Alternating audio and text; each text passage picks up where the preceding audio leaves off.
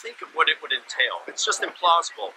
The earliest Christians were pious Jews who debated over various uh, uh, matters pertaining to the Jewish law, such as whether uh, Gentile male Christians needed to be circumcised, whether Jewish Christians needed to maintain the temple purification rites, whether Christians could eat meat that had been sacrificed to idols, whether Jewish Christians could even eat in the same room as Gentile Christians.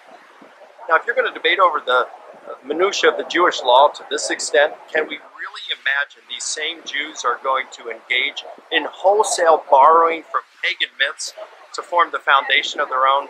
It's very unlikely.